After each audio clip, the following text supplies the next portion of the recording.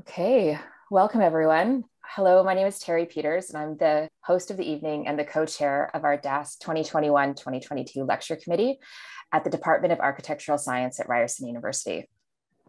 Welcome to everyone tuning in from Toronto and elsewhere uh, to our department and to the last talk in this term's lecture series. We're uh, here this evening via Zoom because we're still uh, dealing with COVID and we're only recently reopened to in person learning. The lecture series uh, we see as a real opportunity for our students, uh, an additional learning opportunity to have them engage with issues facing our profession uh, and the building industry. And many of these issues and disruptions became especially clear as a result of the COVID pandemic.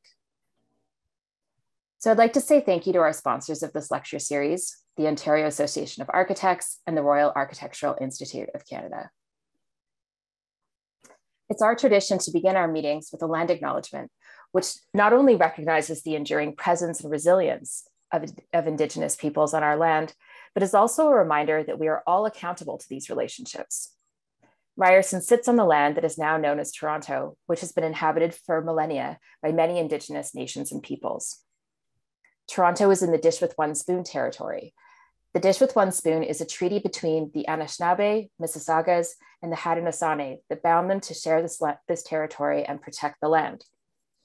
Subsequent Indigenous nations and peoples, Europeans, and all newcomers have been invited into this treaty in the spirit of peace, friendship, and respect.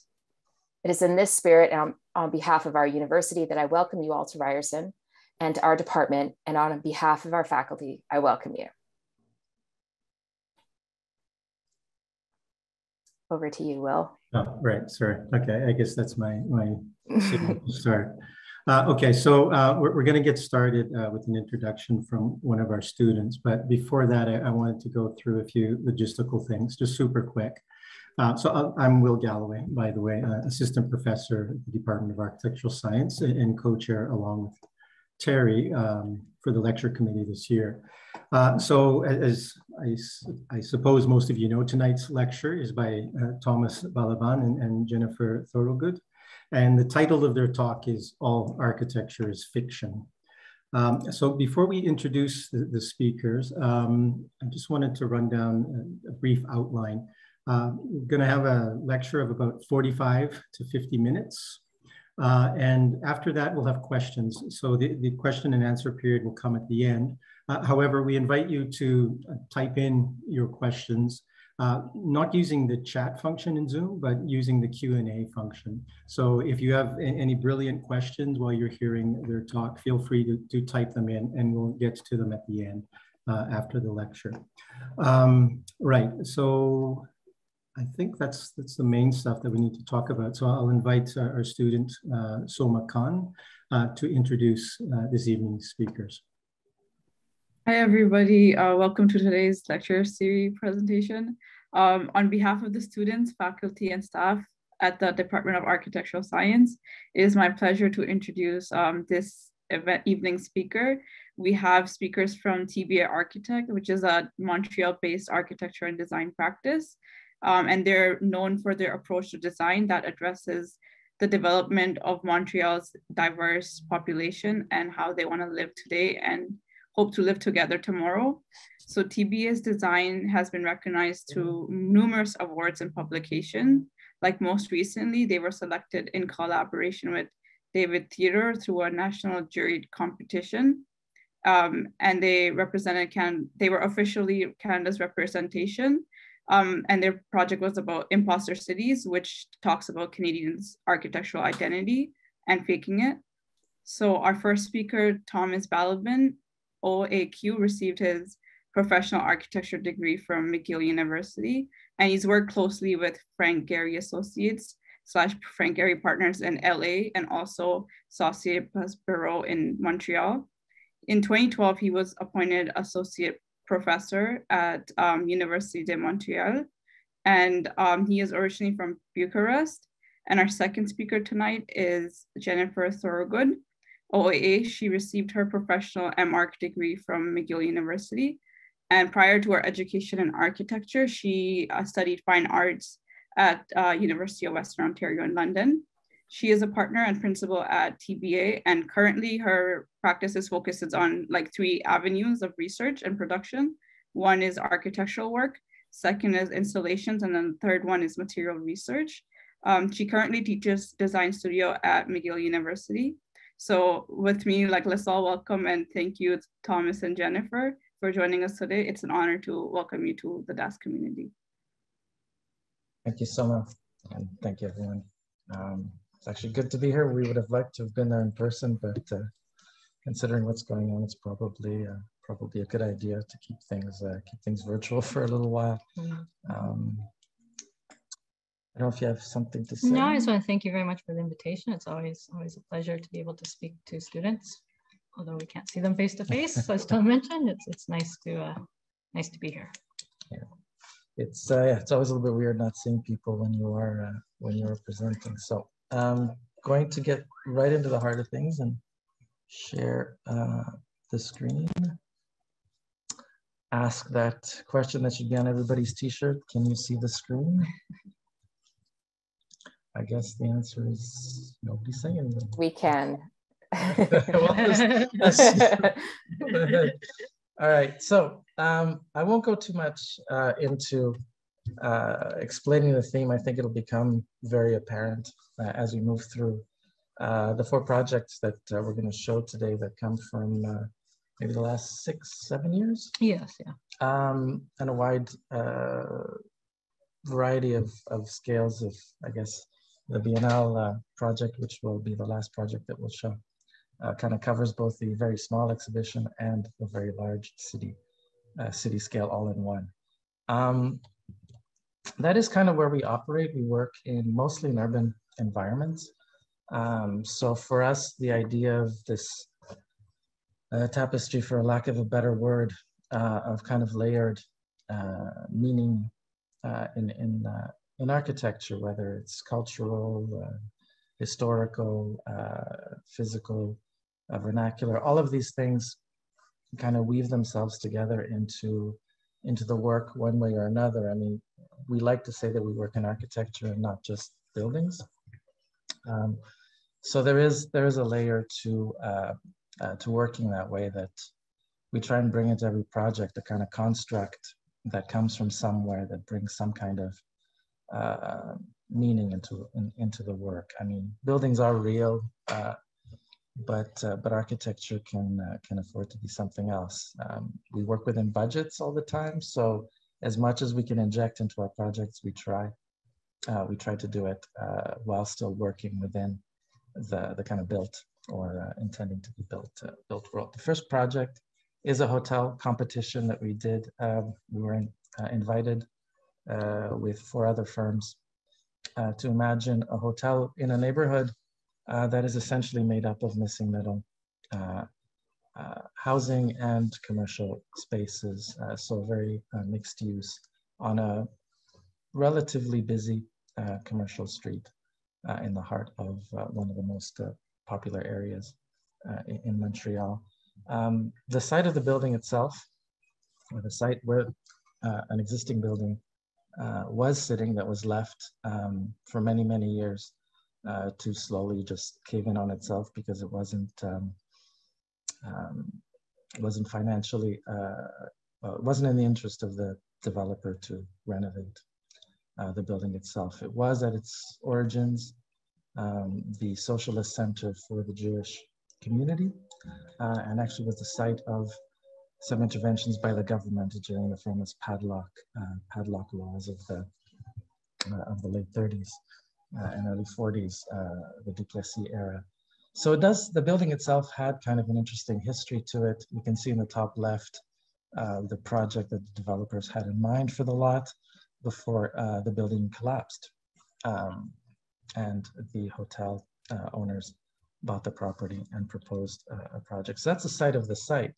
But the site of the building is, I guess, the neighborhood in general. So this is what um, the architecture of Laurier uh, street looks like. Uh, as I said, missing middle, uh, walk-ups, exterior stairs that are very characteristic of Montreal, although on the street here they're less death-defyingly spiral. Um, and again, a very strong commercial base to these buildings and this kind of in, in and out of the facade um, that, that is very characteristic of, uh, of the area. Balconies also.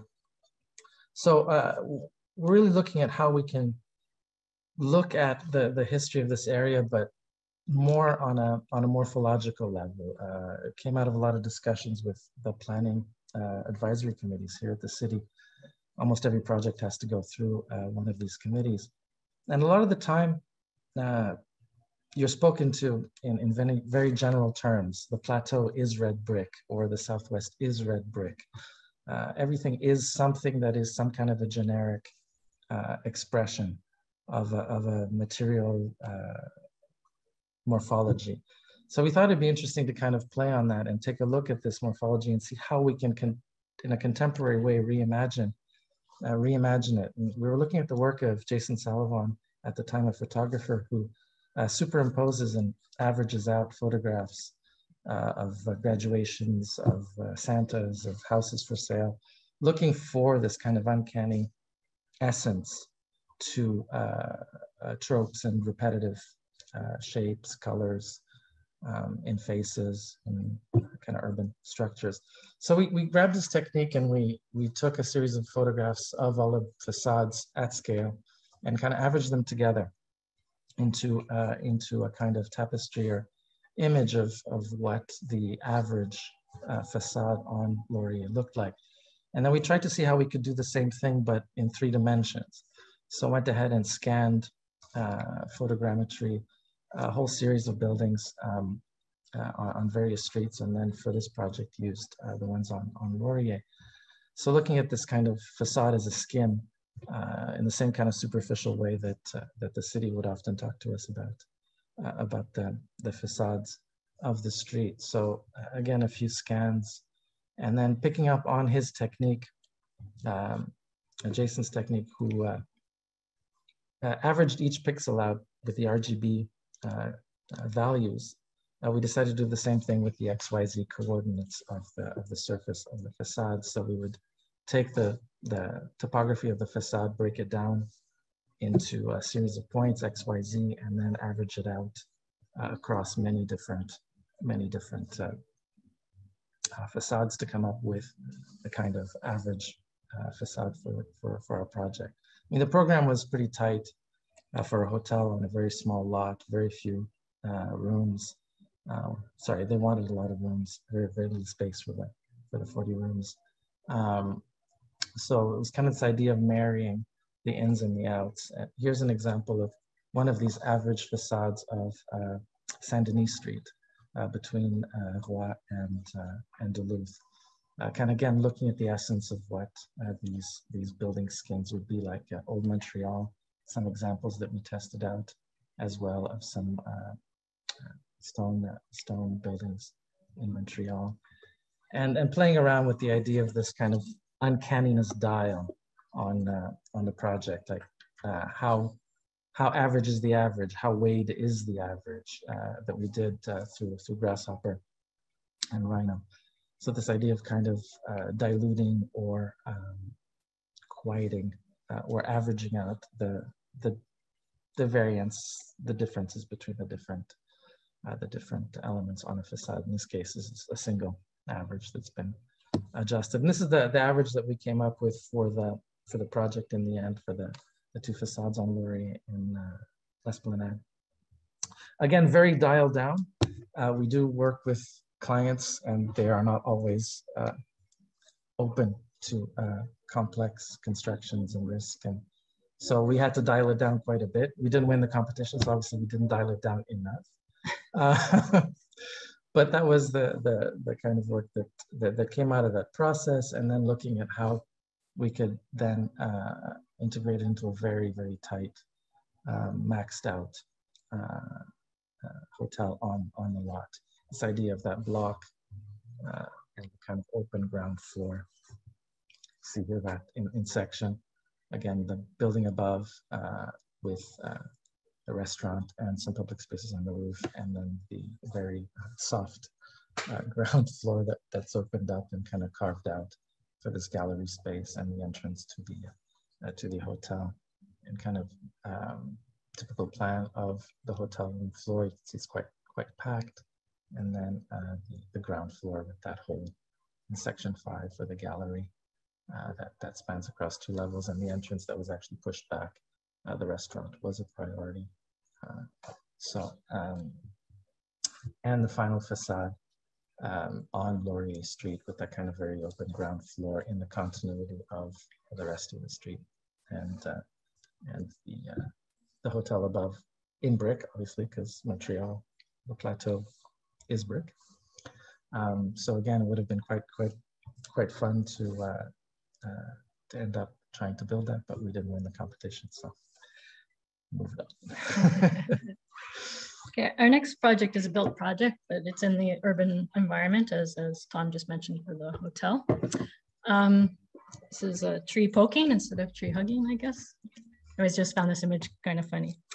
Uh, this is called De Normanville, and it's named after the street in which it resides. And for small offices such as ourselves, uh, residential is a big part of our commission work.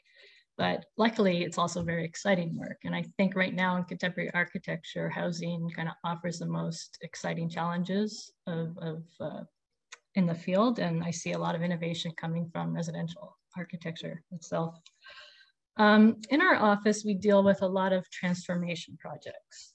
And we do prefer working within existing conditions. And this means not only structure, but climate and nature and surrounding context you know, it, we find this it's much more interesting than starting with a blank slate, but there's also economical and environmental advantages associated with it. So De Normanville, this is the existing structure that we are transforming. It started off as a backlot shoebox house. And a shoebox house is a single story house that was uh, considered as a, a, starter home. It was built at the beginning of the 20th century. And the intention was that once you had the money, you could build upon it. Um, but as the city expanded, these houses got swallowed up and they were, of course, demolished to build bigger and to build more dense. So in the recent years, this single family typology has been put under kind of controversial protection regulations and it's kind of stuck between uh, preservation and identification. For us, as much as this black lot house uh, has been part of the street, streetscape for decades. So have the mature elm trees and the front yard. So for us, the starting point for this project was the preservation of these trees and keeping that kind of front, front yard feel to the project. Uh, this is quick elevation of, of the final project, an image of the final project where you can see we've built the house around these three existing trees. So our intervention proposed to extend the house through the front yard and weaving the spaces around the existing trees. Um, our first intervention didn't make the cut, apparently, unfortunately, but we wanted to keep the veranda and kind of have it part of the, of, the new structure. The house is planned so the more boisterous and social spaces occupy what was once the front yard, while the more quiet and uh, private spaces remain in the existing house. And then the connection between the two, the, the two are separated by courtyard and we have a connection of a service corridor that connects the old to the new. But we also have a courtyard that allows a summer uh, movement as well. So you kind of have a winter movement inside and a summer movement up on the outside. So you kind of feel like a house doesn't really stop at walls and windows and it continues out into the exterior as well. Structurally, you can see on the left, the existing house is, is uh, anchored to the ground with a crawl space. And to the right, our intervention is sitting on a concrete slab on piles. And we did this so we don't damage the root system and we stay above that, that root line of the trees. no woman is an island. no woman is an island. This is uh, just me and the tree surrounded by this, a sea of cables, but it, it was really the only spot that we could stand and, and look over all the plans as the house was being built. this is a couple of shots of, of uh, the construction and you can see how the, the spaces are intertwined and kind of snaked together. Yeah, there's kind of an odd symmetry between some of these some of these volumes. Yeah. So the finished project on the interior here, you can see this is a kitchen and dining room area, and it's it's located between these two carved out spaces. To the left, you have the front of the house, and to the right, you have the court the courtyard that goes towards the existing house. And looking back to the existing house, the full glazing of the courtyard allows these kind of these clear views to the existing house and to the existing uh, facade, uh, minus the veranda, of course. But um, so you, you kind of have within your own house this layering of history. You have where you started and where you are now. Looking towards the street, we have these two volumes that delineate the space. So on your left, we have the kind of cubic space of the entrance closet. And on your right, you're getting the carved out wall of the tree in front of it. Um, on the left, you see this is the entrance closet and we have a translucent, semi-translucent closet. So it still allows views from the, there's a huge glazing in front from the street. So you have kind of filtered views going to the back of the house, but also has some privacy blocking the dining room.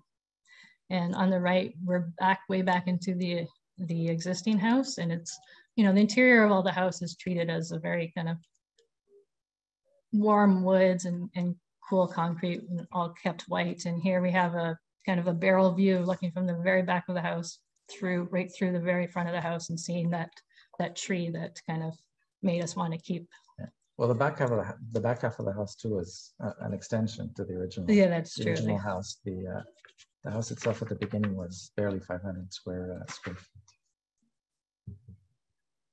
So here here are some images of the front of the house. We we uh, clad the front elevation of the exterior with a pale mottled brick, kind of keeping the brick that was of the existing structure, but making it a more contemporary brick. So we lightened it up a bit and kind of brought in those kind of pink beige tones that, that uh, we see a lot in, in uh, construction now.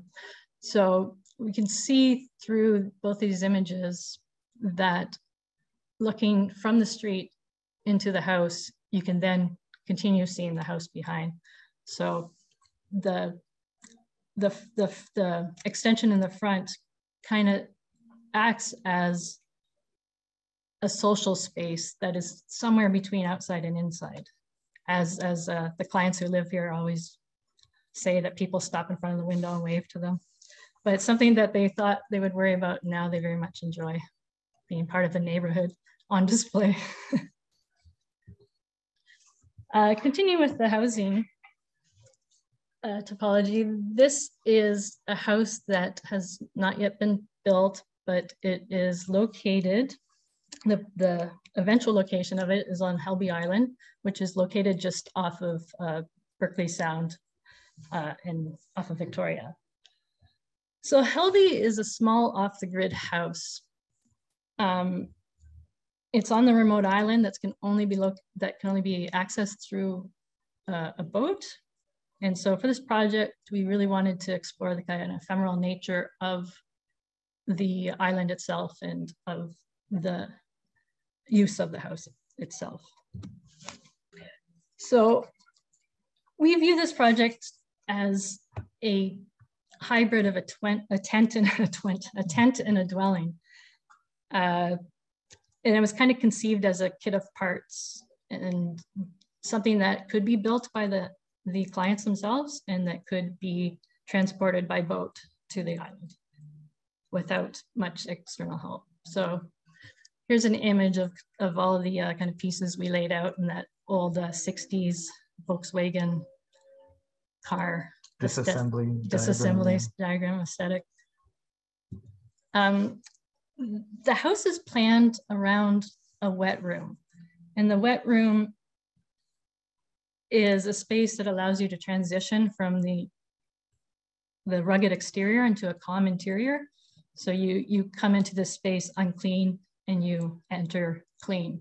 So we see like like island living is about salt water, it's about rocks, it's about kayaking, it's about fishing, it's about the beach. So it's generally a messy activity. So we just wanted this house to kind of act as a space that that you know you're living outside just as much as you're living inside. So you have this transition of coming coming in dirty and cleaning yourself and relaxing within the the protected space itself.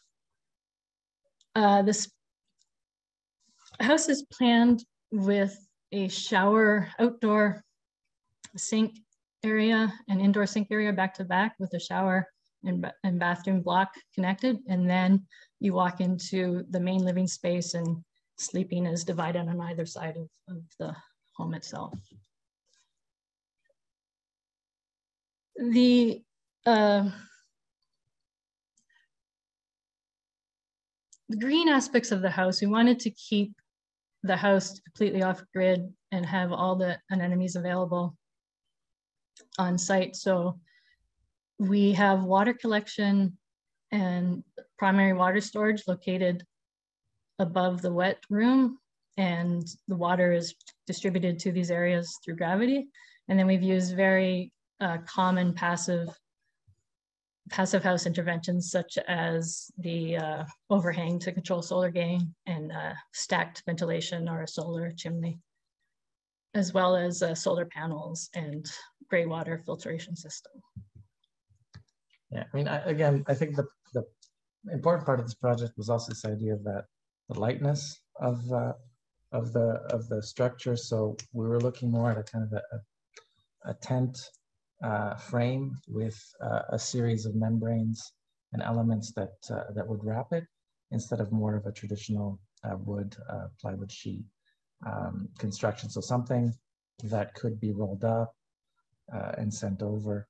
Um, obviously, there's a slab associated with with where this this tent-like structure sat. Um, but the idea was that it would be this kind of light aluminum structure that would come in and it would be this unfolded uh, series of, of panels or membrane mesh, uh, not mesh, uh, sorry, I mean uh, uh, BNL mode here. We used a very similar uh, mm -hmm. technique on the BNL. But um, so this kind of uh, waterproofing membrane that would then wrap uh, the whole house and, and be sealed. Um, again, uh, the, the tent-like structure itself required a series of nodes to come and connect the, the kind of complicated uh, geometry together and to offset uh, the membrane that would then uh, wrap, wrap the project. And uh, one of our 3D uh, printed um, nodes trying to test out the scale and the, the geometry of some of these more custom connections. So these would be all made in advance and assembled on site with uh, with the post. So the tolerance for the project would be taken within within the post and not and not within the nodes. And exterior would be this uh, uh, PVC and nylon membrane that would then be attached to each of those offsets on the nodes and on the inside uh, clad with a series of uh, wooden uh, strips that would then follow the geometry on the inside. So creating this kind of um, feeling of, of, of, of fa a fabric or some kind of texture on the inside that was not drywall, heavy drywall sheets that would then be, uh, uh, would need to be brought, uh, brought to the site. Uh, and again, you can see through to the outside where that tent, that tent wrap would uh, complete the, uh, the waterproofing of, of the structure. obviously, things such as windows would be brought in um, already pre, pre-assembled kind of likened it to a, a, layered puffy coat. Yes, yeah, North Face house. um, and then uh, the uh, the BNL project, which is probably I think the first competition that we've won in ever. no, no, no, in a while. in, in, a long time. Uh, we're not we're not good at winning competitions. Um, but we did with this one, and uh, I'm very happy to have done it. Um, and uh, it, it, it again spoke to um, a lot of the kind of concerns that we have about trying to understand our identity and the identity of our, our buildings and how it manifests. And uh, we did this project with uh, David Theodore, who we've known for uh, for a long time, uh, who um, curated a, a, large part of the project, but it was a big team, as, as, you'll see, and, and a lot of the work kind of evolved. It was an original, it was original research when we uh, proposed the project. Um, we uh, we had some very strong ideas, but uh, very little of the research done. Um, so we kind of started to dig and see where this project would take us. At the heart of it, it, it looked into kind of trying to understand how we as architects see our buildings. Uh, Banister Fletcher's uh, you know, tree of architecture on the left that still uh, provides the foundation to a lot of our ideas about architecture being somehow born from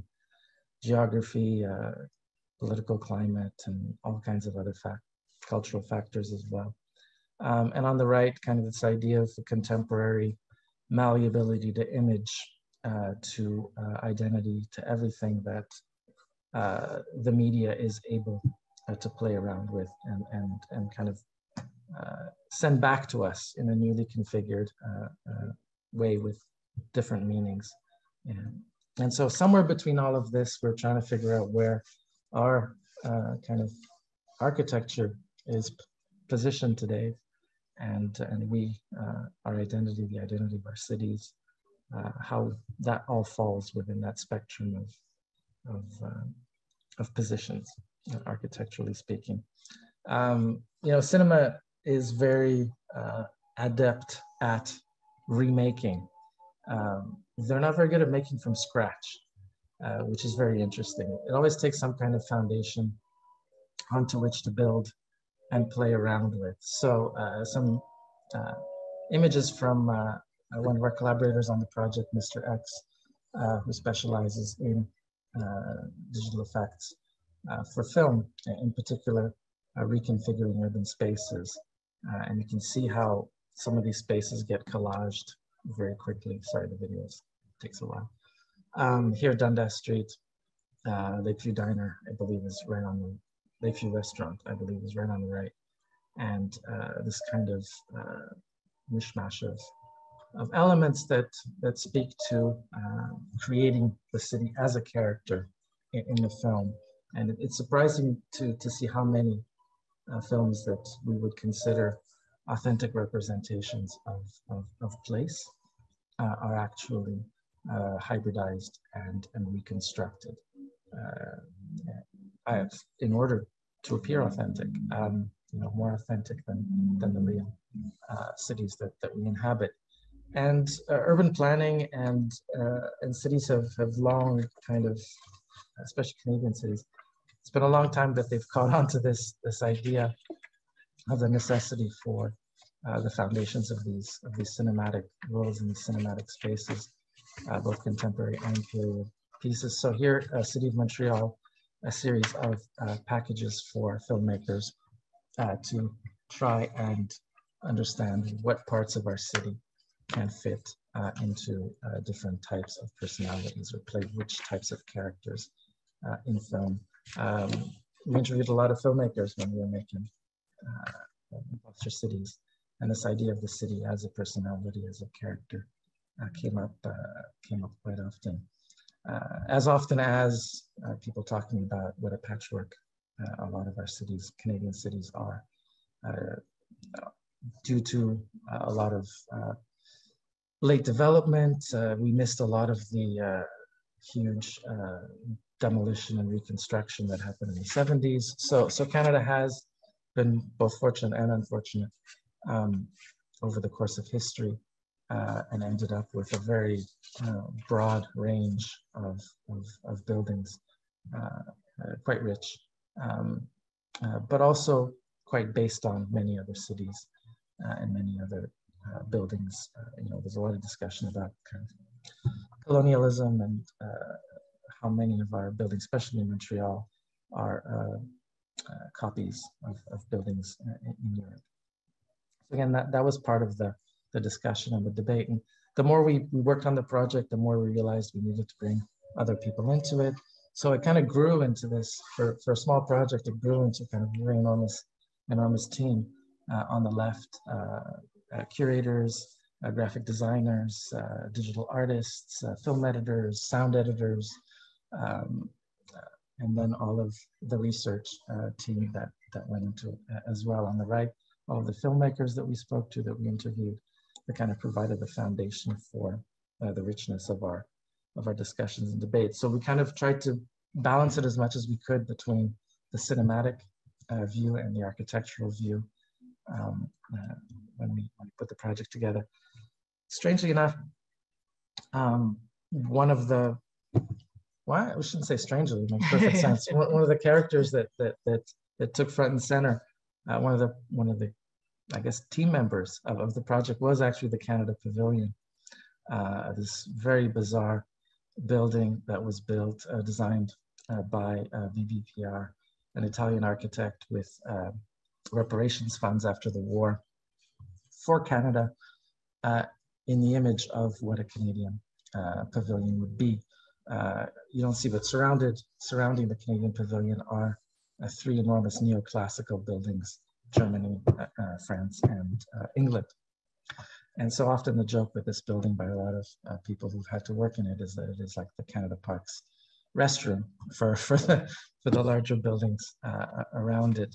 But I mean, we, we, we kind of fell in love with it and took its um, both symbolism and uh, actual physical presence as a, as a, as a starting point. We, we scanned the building and, we started to look at how it could play an important role uh, in, in, our exhibition, uh, especially since it is it was done by an Italian architect. It is representing Canada in a way, and it's been there for many, many, uh, many years. So uh, it, it, became a real kind of uh, point of departure for a lot of uh, the work that we did. And uh, here, uh, one of the first models for uh, the, the kind of screening room uh, in the center, at the heart of the pavilion, um, which was designed uh, at McGill by David, David Theodore and Cameron Hervé and Joel big, as well. Big team. Yeah, a, a big team. So it was funny because where we had started with a curator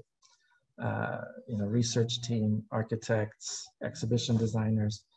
Uh, everybody kind of mixed mixed in together, and I think the richness of the project came from the fact that um, uh, we all collaborated on this, and those boundaries really blurred between uh, between everybody. So curators and uh, professors here designing spaces, uh, us pitching in with the curation. So it kind of filmmakers coming in. It really became this kind of rich uh, network of people trying to, to, to, figure all of this out because it hadn't, hadn't been done before. Um, so it's kind of spatializing of, of film here um, in, the, in the space. And then one of the, one of the images from the point cloud scan of, of the pavilion, which has this kind of beautiful uh, drawing like uh, kind of uh, poetic vibe to it, but it is actually a very digital, very, very digital image uh, straight from the screen of, of the point uh, of the point cloud. Okay, so the the exhibition itself, we had planned it in what we dubbed as three speeds. So this was kind of based on three different kind of time commitments and I guess interest that a visitor would have. So the first speed we call the flyby, and this is to do with the exterior of the pavilion itself. So the exterior pavilion we wrapped in a green screen that is, you know, normally used in film for chroma, keying. And this, this mode of, of viewing is signifies to the, to the visitor that, you know, our exhibition of Impostor Cities is about film, but it also engages the, the viewer into the idea itself and into the building itself because the wrap not only serves to make the building invisible, but it also highlights the unusual form of this building, the uh, Canadian Parks and Recreation's bathroom. the, rest, the restroom pavilion. the restroom pavilion. The uh, lobby acts as kind of a transition zone. So this serves to get the visitor into movie mode and ready to go into the screening room.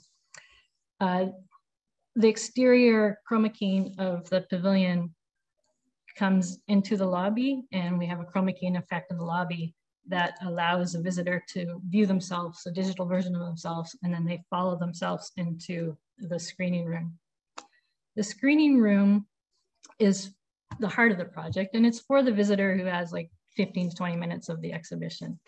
And I mean, I, am kind of explaining this very, you know, matter of factly, but but being at a Biennale and with hundreds of exhibitions to see, you, you really have to think about all these different uh, ways to view your project.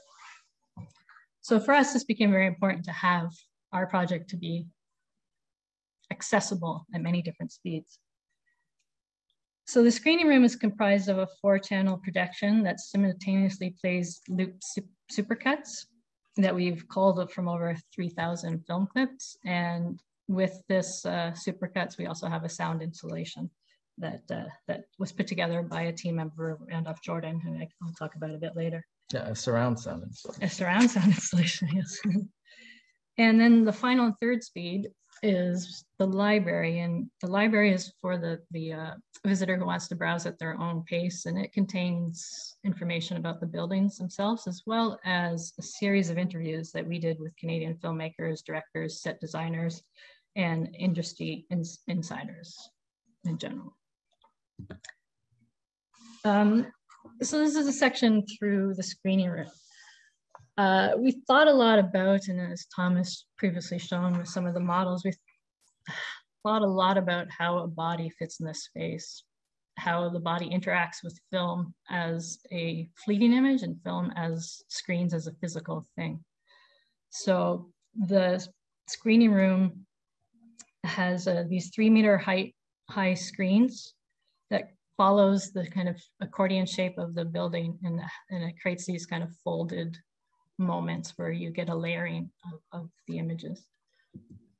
Uh, this photo is just funny because we can't, every time we, we talked about the screening room and our supercuts, we couldn't help but always use gestures to kind of ex explain how the body takes up the space. And we were constantly gesturing like this is how you fit in this is how you fit in the space and, and it became a really interesting experience because you're no you realize you're no longer watching a film sitting in a seat and watching something that is 90 degrees in front of you you're you're participating in a space where the film becomes a an object itself so the final layout of the interior saw eight projections projectors that were displayed on five screens and they were kind of arranged in three different chambers. So on the, the top of the, uh, the images on the top of the uh, image, sorry, the screens on the top of the image are in that accordion shape that follows the, the, the glazing of the Canadian Pavilion around the courtyard. And here, depending on where you, we, we call this the uh, Mad Magazine effect. You kind of get a folding of, of images and a folding of, of the screens.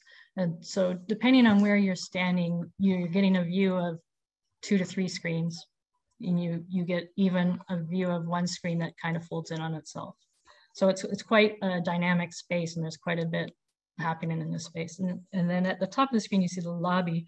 Here we had a uh, effect where as you walked in the lobby, you were recorded and then your recording was projected on a composite image of a building that we we took some recordings of and we added in bits from films from films and we added in some kind of elements that kind of grounded the building to its site so such as snow or rain or lightning something like that uh, so when the visitor walks through this lobby to the right of them they're walking beside themselves and so so this is what david always termed movie mode, it, it, it uh, prepares them for what they're about to see.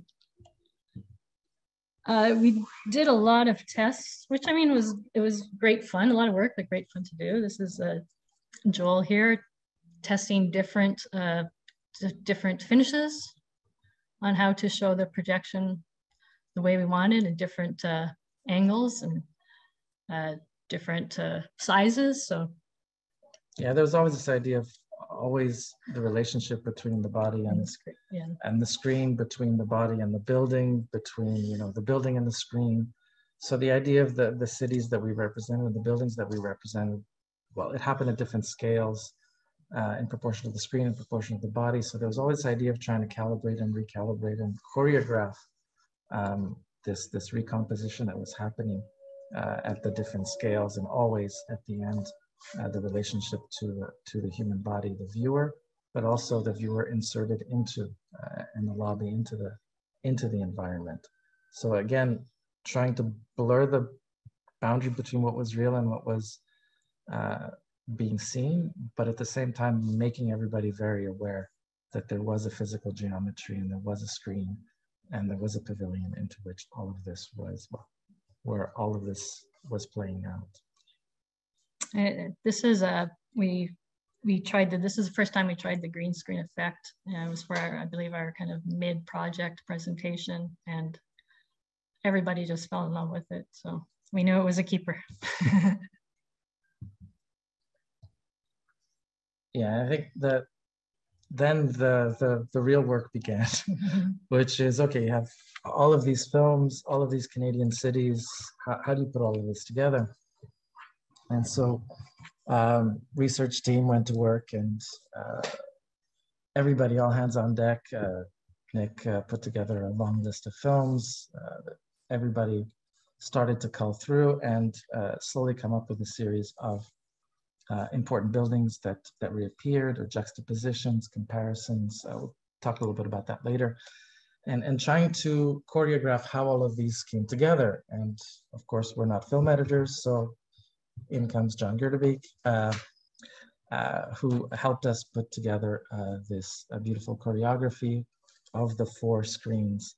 Uh, first, uh, flat, and trying to kind of come up with what the relationships are, what we're trying to say about the different spaces. Here, the uh, famous Lakeview restaurant in Toronto across you know, 20 years of, um, sorry, more than 20 years of films um, you know, this kind of stereotypical guy walks into a bar uh, kind of scenario. And uh, again, the same space playing out, uh, you know, series of archetypes and, uh, and trying to kind of understand the space through that. Uh, and then again, spatializing all those relationships into the pavilion and adjusting. Um, Joel did this through, uh, through Unity. So we simulated the space in Unity trying to understand um, how all of those screens uh, end up uh, manifesting and what Jen calls the Mad Magazine effect of those of those spatial juxtaposition. Again, uh, very important uh, study in scale, people uh, against uh, architecture in space, against people in space, in real space, in the pavilion. Uh, the pavilion against the screens and, uh, and all that kind of trying to come together into a, into meaningful, meaningful way. So we had all of this film magic.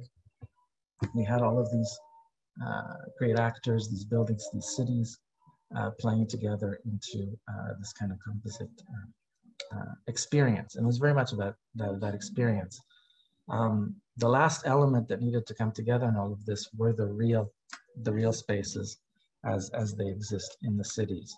And again, uh, for the montage that uh, Allison Moore, uh, a digital artist, helped us with at uh, the lobby and on the outside of the building, we needed the real material of the real buildings to, to work with.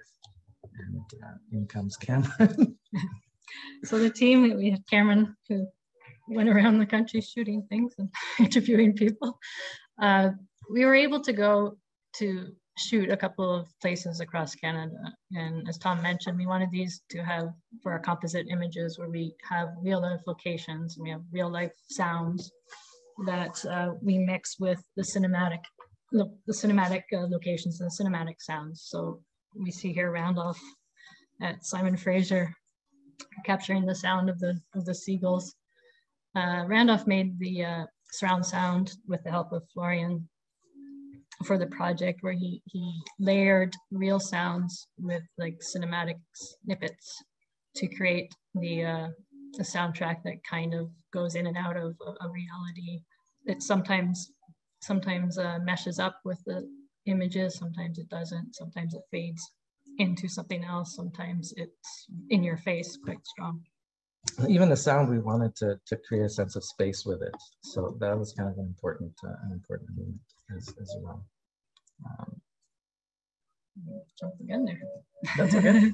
and uh, on the left, David uh, hamming it up uh, in a mock-up for the lobby, where we uh, purposely out um, made the image and the person out of sync, so there's this kind of uncanny.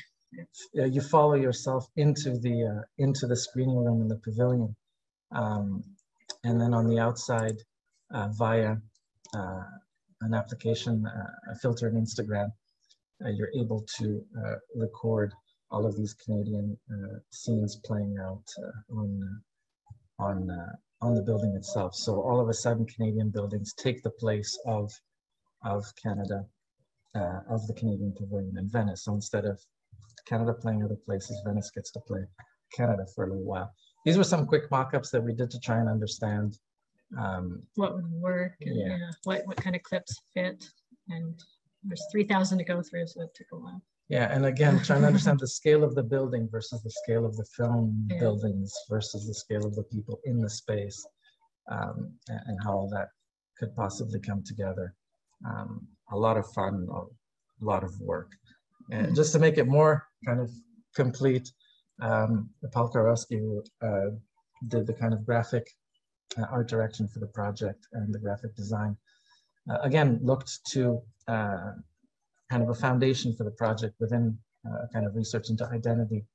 And uh, his graphic design work was based on the Federal Identity Program, which came about in the late 60s with the Languages Act, the government trying to um, bring together uh, its graphic image, the way buildings were labeled, especially addresses, and again, trying to address both English and French identities within a single graphic uh, graphic presence. So uh, again, it seemed very appropriate to kind of pick up on that and, and develop it into a graphic image of the project. Uh, hellish, um, because you're dealing with different uh, screen ratios, different color timing, different aesthetics.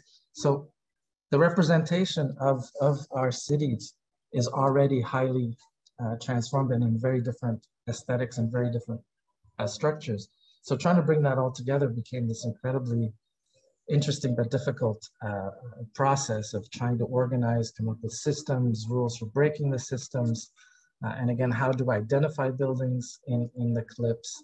Uh, so again, this idea of the address, the Canadian address, uh, through that federal identity program became this, this important tool, uh, again, to identify uh, things, locations, places.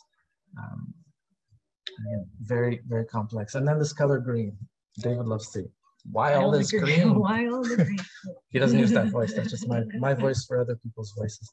Um, why all this green? Um, which started off with this idea of chroma keying, but became this way of kind of tying tying everything together. Yeah, it also it became a way to, as Tom says, to tie everything together, but also to kind of really highlight things because uh, especially in the exterior of the pavilion and what was intended in the lobby, that the green had a purpose of chroma key, but also had a purpose to, to create this kind of unreal space where every element was green. And trying to match all those greens. Yeah. Um, yes. Yeah. this is tr- tr- trickier than you think. Yeah. um, and also, the, the green made the, the Canadian pavilion seem that much more strange of an animal within the whole. Yeah. Uh, the green versus the green of the trees in, uh, in the uh, in the space again added that level of, of artifice to uh, uh, to the project. So a lot of tests trying to get this to work. Trying to get the right green. Yeah. Um, both you know inside and then eventually outside, trying to make this this kind of magic this magic happen that would then juxtapose not just all these cinematic spaces, but the real spaces into which they they exist outside. Uh, so here's a couple of images from, from the pavilion wrap. Um, you can see, especially on the right, when the sun hit it, it was this really strange green that you could see poking out throughout the trees. But it, was really, really, uh, really quite nice, especially when you're on the Vaporetto coming coming down the canal. You could see it poking throughout the trees. Uh, so it, and I mean, we went through a lot of iterations on the wrap, and, and there's a lot of factors that we had to consider. Uh, I won't get into all of them with heritage, but uh, we the wrap is completely independent of the pavilion itself. So we had to create a structure that literally sits inch and a half away from the Canada Pavilion. And in the, know, wanting to have everything green, the whole structure is painted green and then the green wrap is over top of it. And we worked in, uh, well, I guess I should go more into the effect of it. So this is the Instagram filter effect that went with the exterior of the Canada Pavilion. Um, so what you could do is scan a, a, code at the pavilion and then it would launch you into a series of filters. So with these filters, the Canada Pavilion was erased and replaced by um, our composite images models or structures which could turn thing you know, on the top right are, Christopher Roth and they German got neighbor into this kind of uh, many of them got lecture in this the kind of uh, weekend that I went in August. models or structures which that, could know, it makes me turn here's here's a couple of thing around we just selected some images from and they got Jared from our Instagram kind app. Of, many of them got this kind of uh, uh which we, we're very models or structures uh, we're very happy with the success of the app and managed thing around over 100,000 uh, and they got into this kind of I mean the, the goal in the end, I mean, what, what David loved to to say model. is like um, uh, you know most people uh, have never been to our buildings. They've only seen them in films and most people have seen Canadian architecture. They just don't know it so this is kind of our way of bringing uh, Canadian architecture to more uh, kind of the forefront, bring it to them instead of having them come to it. Um, uh, yeah.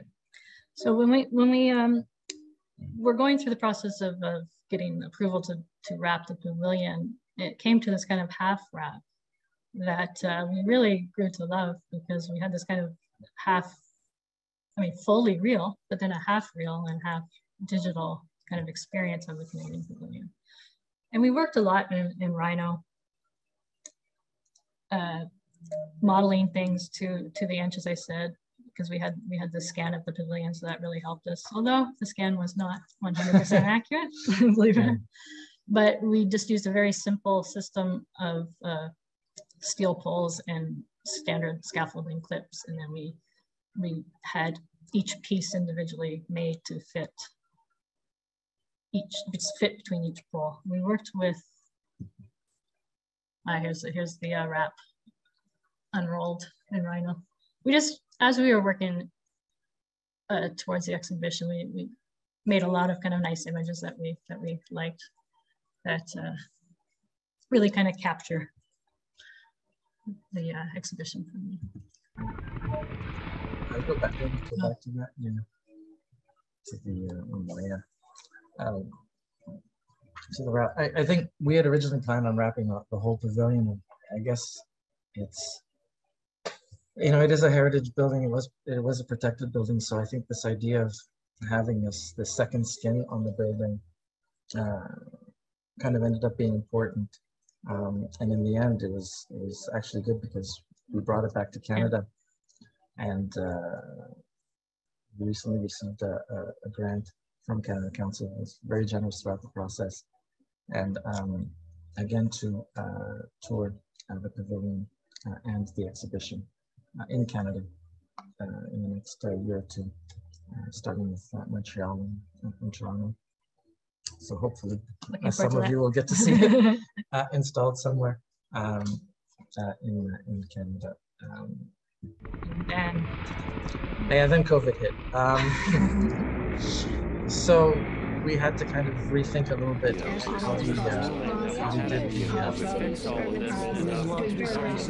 uh, or who saw the project in the end because uh, people couldn't travel. And, and, we kind of rethought um, the content, a lot of the content of our exhibition, a lot of library content, didactic uh, information uh, of the exhibition and tried to find a way to bring it uh, to Canada during the Biennale for everybody who uh, who couldn't be there. So um, we we built this uh, this structure with uh, with David and uh, Paul uh, Karowski, our um, graphic designer. Um, that again was true to a lot of the things that we were trying to accomplish with uh, the screening room and with the pavilion and with the content uh, of the exhibition, trying to kind of give this layered, um, simultaneous uh, expression of opinions, of ideas, uh, techniques, uh, camera views of the inside of the pavilion uh, for people in Canada who, who, couldn't be there, as well as some of the actual clips that, that played out. So um, this content we'll keep adding to and, and keep feeding from, from the library. I think we've only gotten through a very small portion of it and constantly kind of updating the uh, the different uh, uh, pigeonholes and compartments of this kind of line, line of um, view of, of, of, the exhibition. again, some of the spatial aspects you'll have to experience in real life uh, when the exhibition travels, uh, but you get a, a, good idea of what the library uh, and, and the screen begin to feel like from from this from this website. Uh, we also tried many, many different things uh, throughout, uh, trying to use the digital realm uh, to, uh, to discuss some of these, some of these ideas. Um, and even the inauguration for the pavilion, which uh, couldn't be done in, in Venice, we brought to everyone online with Canada Council and, and created a space with a series of yeah. things. Um, where people could walk through. I'm gonna try to find my parents. Uh, Your parents are here too. People could look for their parents. Uh, somewhere in yeah. There. Here's my. Um, that were kind of collaged from uh, the, the, kind of significant do you want, like, you want to just screenshot? Determined uh, in, in yeah, I'm taking pictures with my camera. So but, people could yeah. travel around and, and for, for their friends uh, and, and listen to some of the content of the exhibition and just uh, the space that we again, trying this idea of bringing uh, the buildings and the architecture and the exhibition within the of digital media to bringing them to Venice, which I guess we learned a lot and, and made us made us think a lot about the idea of this national. Uh, very few people actually get to travel and see it that, that discuss some, some very pertinent issues about architecture. Happened to me is uh, I was very excited. We were uh, shooting songs for Toronto, and we ended up having to shoot Hamilton for Toronto because it was cheaper to shoot in Hamilton. There's something that is so noir about that place. It's like a beaten down 1950s city, and Hamilton's got it all. Plus, it's cheap cut it off so that it doesn't uh, make all of that noise. But anyways, um, there's a lot more to the exhibition. Uh, we didn't talk about how we determined all of the different imposter buildings that are in the show, um, the different comparisons that we did between uh, Guillermo del Toro's Toronto versus, uh, you know, uh, Handmaid's Tale's Toronto.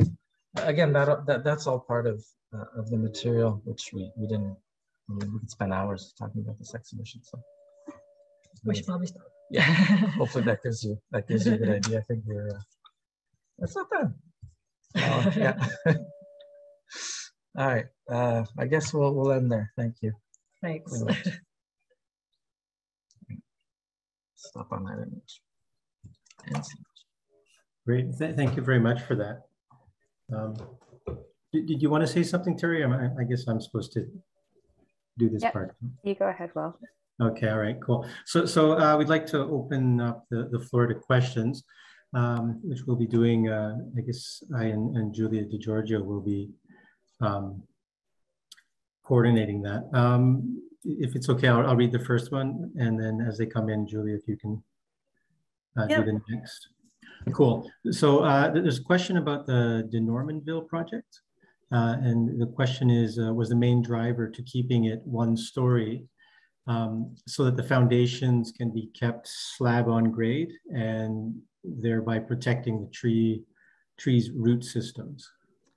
Absolutely, but for different reasons. Um, the, the, building is actually, um, the foundations are actually uh, engineered for two stories.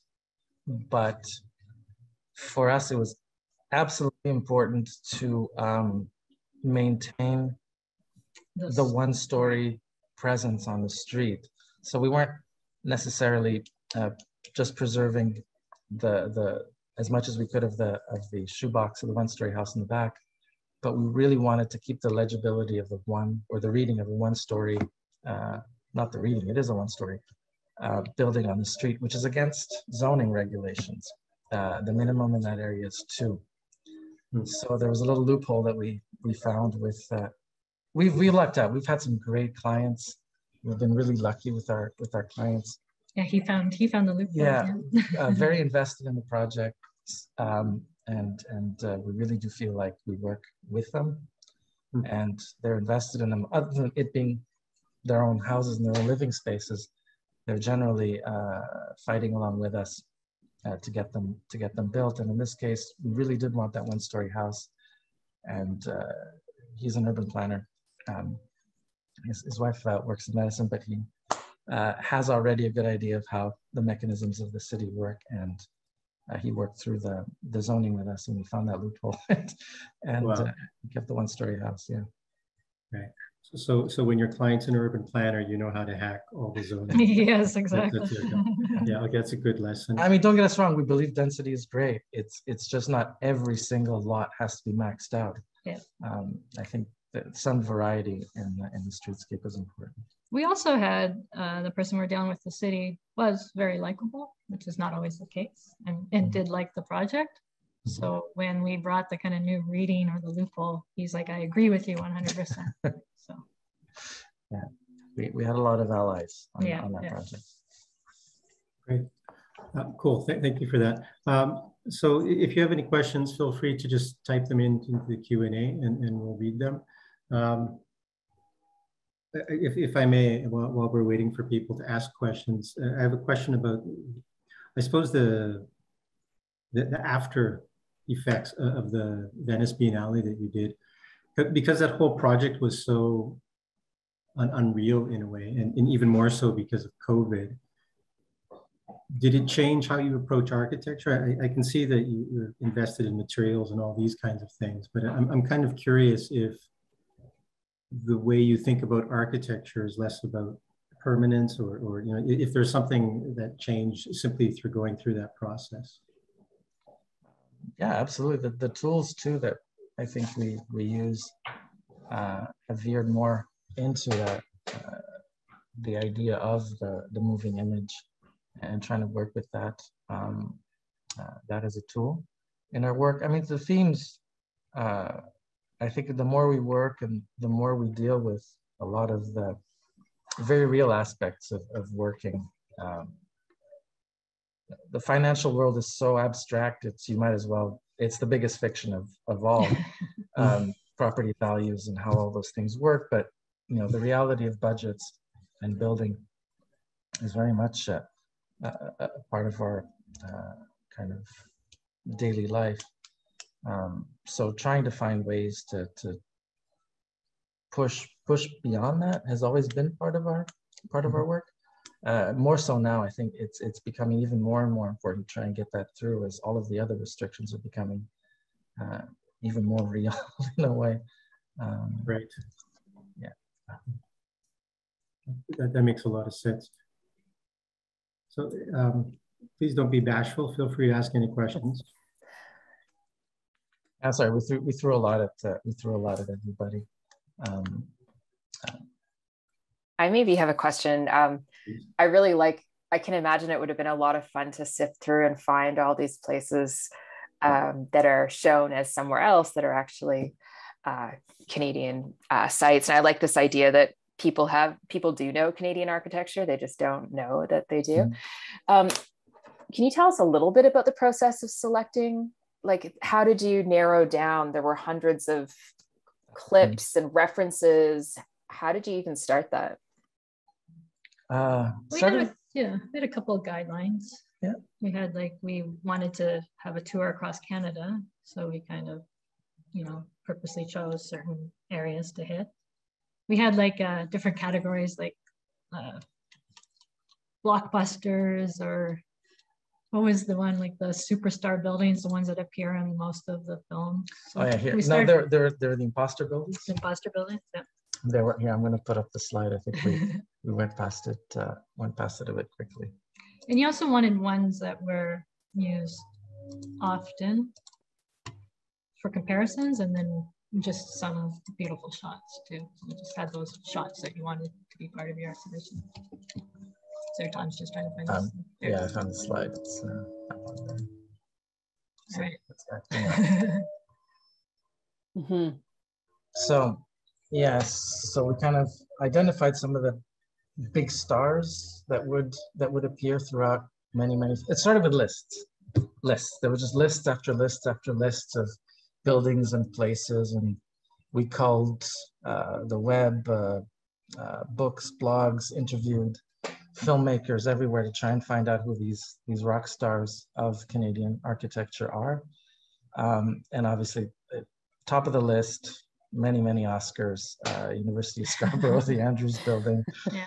uh, stockpile of Oscars under that under that project. Um, so it started with those big stars, Lakeview Restaurant, uh, R.C. Harris water treatment plant, amazing.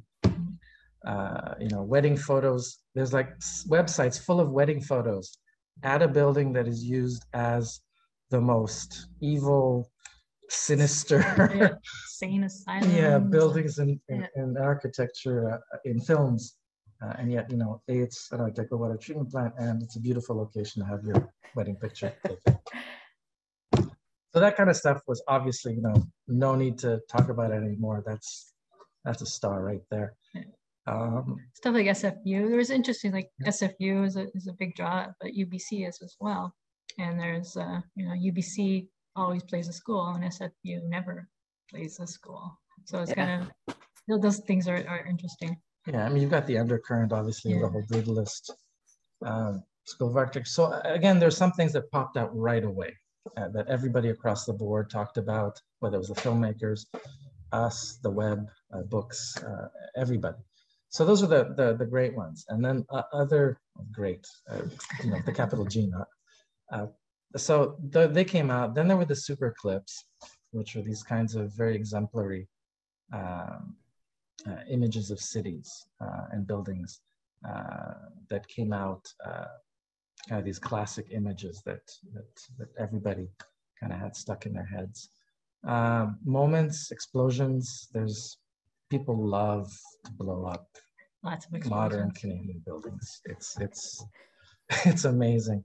Um, and then uh, uh, the comparisons uh, between different uh, views of the same city by different filmmakers also also came up a lot. So um, we used uh, actually Instagram posts to try and work through some of our ideas and, and trying to bring bring you know uh, trying to distill information down to like one quick image and some text as a way of us understanding uh, as well.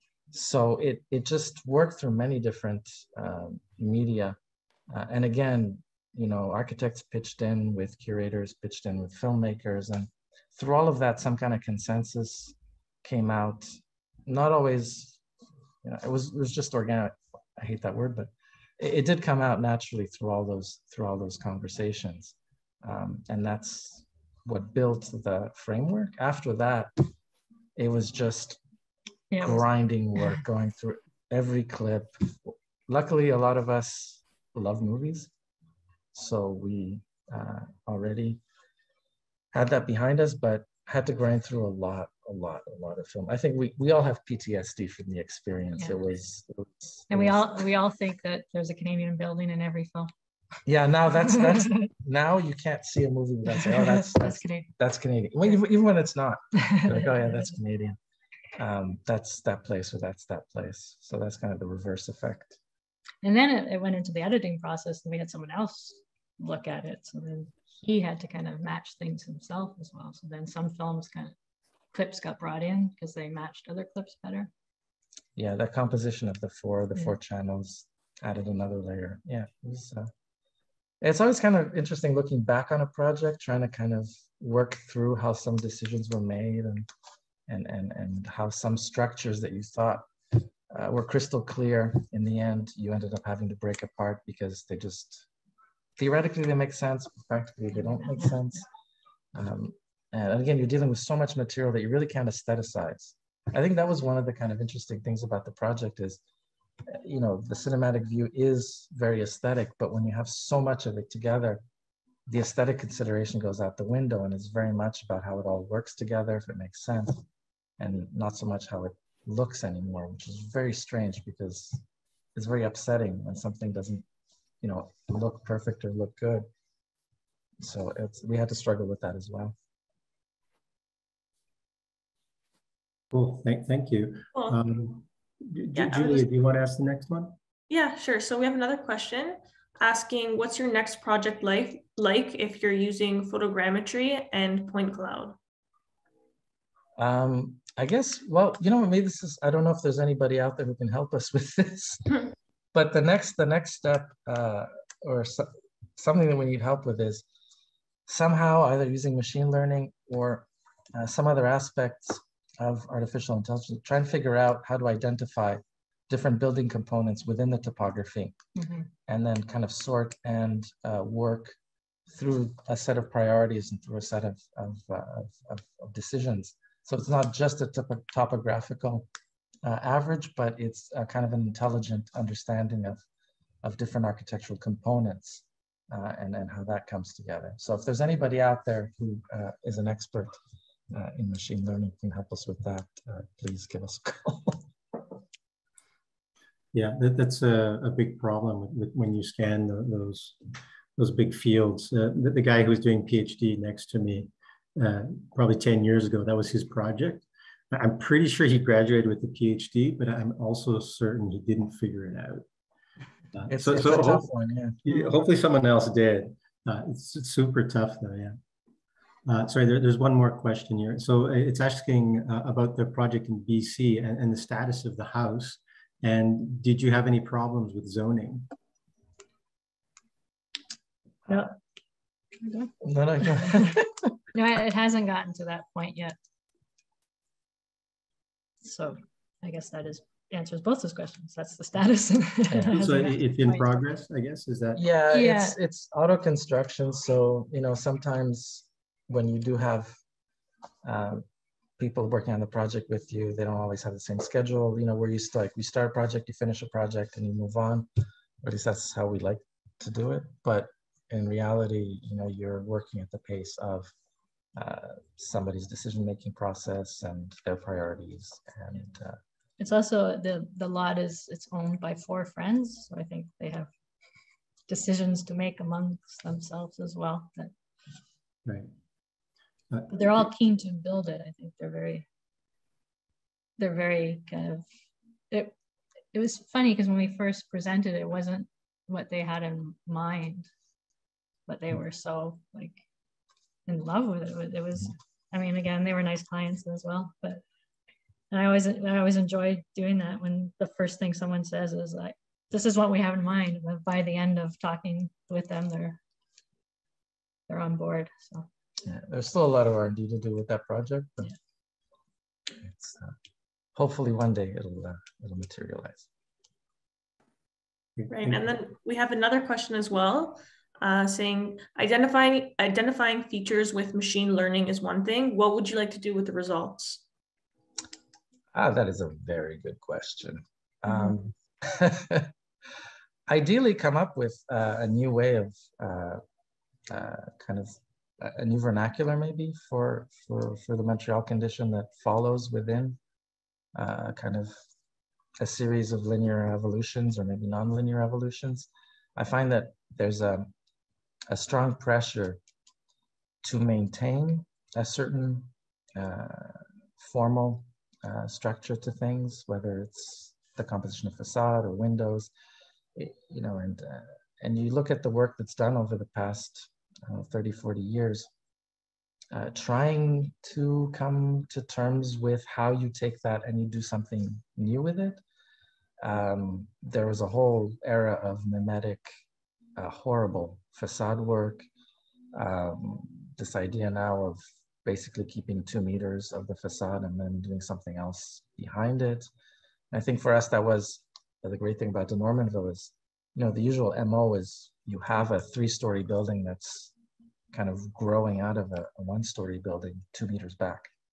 Yeah. So, you know, we've tried a lot of things, none of them work. So hopefully through a more digital uh, kind of, uh, I guess, research work, uh, things could move forward and still maintain uh, a very visible tie to uh, uh, to this lineage of, of, of evolving um, I'll call it a vernacular, but uh, way of way of designing. In much, I mean, Montreal touches us especially because we, we do know the, the history. We've worked on these buildings and we've seen their guts many, many, many, many times. Um, which is funny because the interior structure and organization of it, you see such a clear evolution. Um, but on the outside, it just feels like uh, it's being being chained down by by other things. Great, thanks. It's, it's a very uh, thoughtful answer, very interesting. Uh, a problem for us all, I, I think, going forward. Um, so there's a question here from uh, Melania asking, uh, have you done any projects you love with not so nice clients? Uh, and the, the follow-up or connection to that is, you know, are, are good clients a pre prerequisite for good projects? No, I don't think so that we've done projects. We don't usually work with clients we don't like. yeah, um, yeah, that's true. It, yeah, so I, it, we've been lucky that way, I guess. For me, we've gone, we've had conflicts with clients sometimes, but in the end, there's kind of a common vision for it. But yes, I, you can obviously do good work with with with with clients that you butt heads with. Um, it's more uh, rare, uh, I think more often than not, it does end up in strange, strange results, but uh, it is possible. Yeah. It, it, depends what they butt heads, what you butt heads over, I suppose, as well. Yeah, probably. And, and this is also a problem for all architects, I suppose. Yeah. Yeah. I mean, we're also pushovers in a way. uh, so, you know, if someone if someone comes to us with a certain challenge that we don't necessarily agree with, we'll just find a way to do it in a way that we can agree with.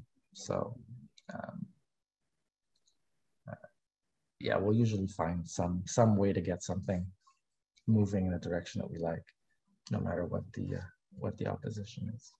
Right. It's, it's a very uh, good diplomatic answer uh, in case any clients are listening right now.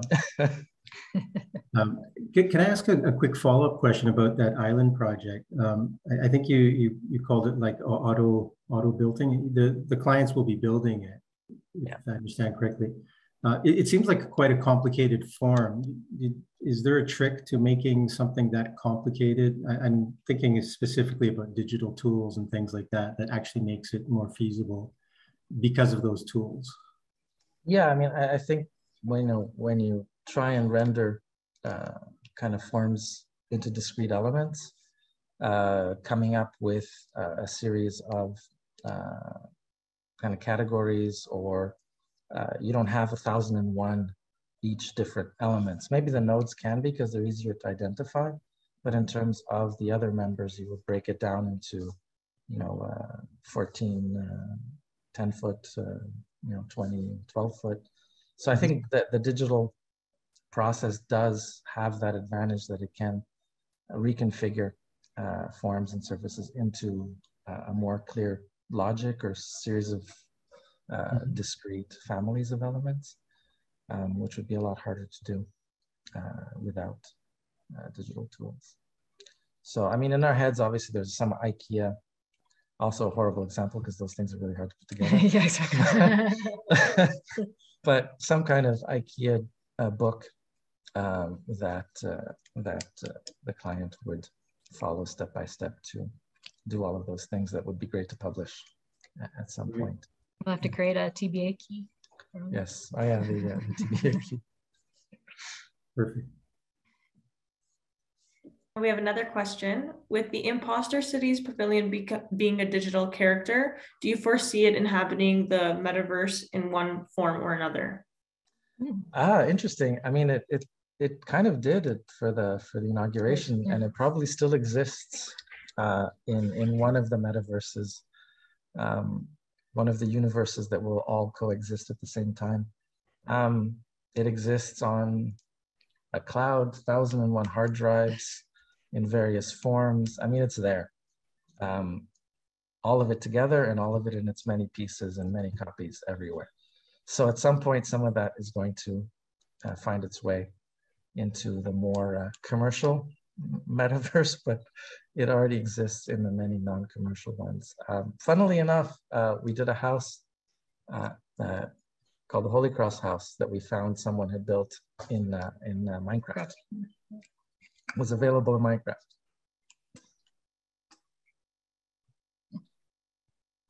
Did a pretty good job. Yeah, it was pretty good. I guess that's how you know when you you've made it when, when you your, your homes in, when twelve year old kids are building your building your houses in Minecraft. Yeah, there you go. Um, cool. So we can. I suppose we have a, a little bit more time for a final question. If, if anybody